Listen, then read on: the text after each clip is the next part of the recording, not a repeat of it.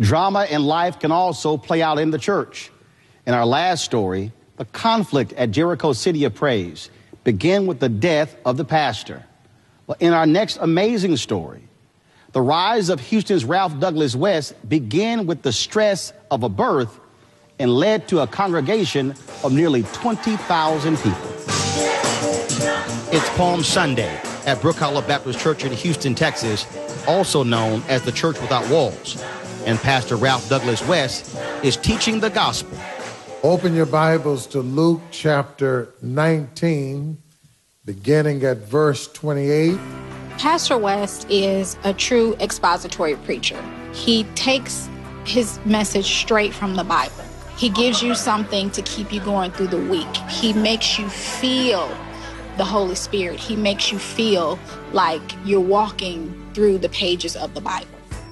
The story of this church began with the birth of its pastor's child 25 years ago.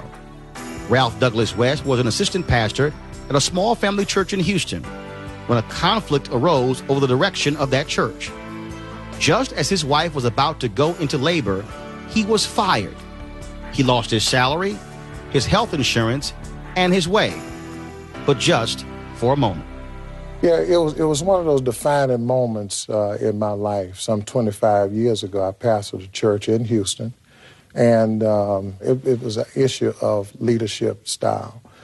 Uh, I saw church as growing and people expanding and reaching, and the church where I pastored was more of a community church. It was more of a family church, and it really just posed a threat that these people who are here are about to take over our domain, and that wasn't my purpose.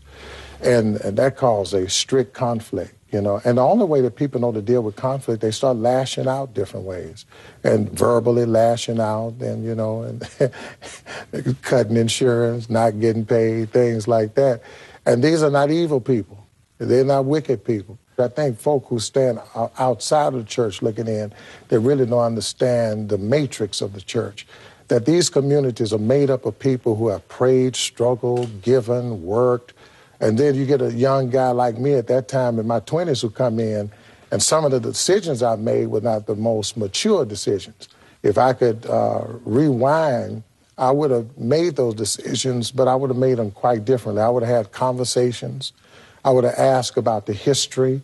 And that was some of what uh, birthed a lot of the anxiety. But as a young pastor, surely you had to be standing there going, man, what is going on here? You, you cut the insurance off. My wife is having a kid. That's the last thing you would think uh, church folks would do. Yeah, yeah, I did. I thought that. it was kind of embittering at the moment, you know, in some ways. It was. Made me a little testy. now, coming out of that, for you, were you struggling with man, do I want to go through this stuff again? Yeah, that is the pastoral conundrum right there because I really wanted to just get out of pastoral ministry, not ministry. I was very clear that God had called me to Christian ministry for a lifetime. I was clear that, and I knew that preaching ministry was what God had called me to. But the pastoral ministry, I felt I did question whether that's where I was supposed to be. For you, was the question of, wait a minute, I'm not, I didn't come here to be a caretaker. Yeah. But I, I still have a vision in terms of how we can grow and move and prosper. Absolutely.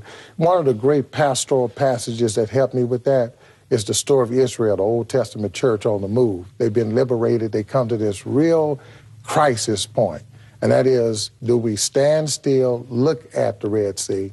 Do we go back to Egypt in oppression, or do we move forward? Pastor Ralph Douglas West is a man on the move. We have six services each Sunday, three campuses. The services are 8, 9, 10, 11, 12. So I'm traveling back and forth from north to south on the campuses. That's where our members are. You know, they were there, and so I'm just going to where they are.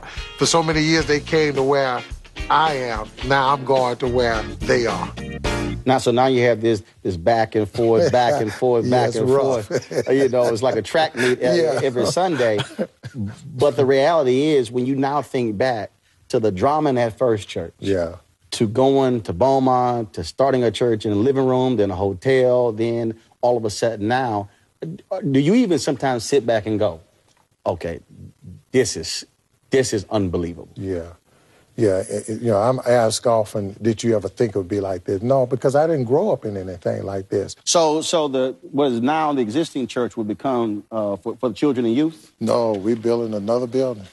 Yeah, building a whole other building for children and youth. Really? Yeah, we call it mega church. I don't think our church is a mega church.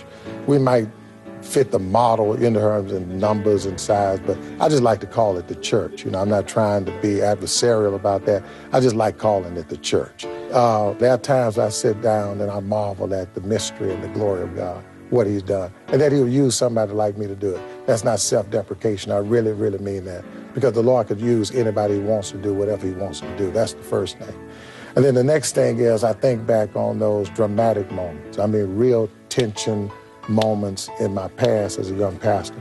And now I know that those were the fires that really burned to purify me to make me a pastor. I'm a lot more tolerant, a lot more patient, more understanding of people, people in their past and their history. I'm really, really tolerant of that.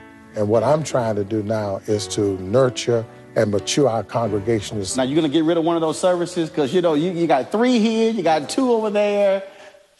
No, I'm trying to keep all of them actually. when we follow the blueprint, God's biblical blueprint for the church. You go into the world, you preach the gospel, you teach, you baptize. You just hope and pray that if I reach people, people will start reaching people. If I can show somebody that they're traveling wrong, then my living won't be in vain.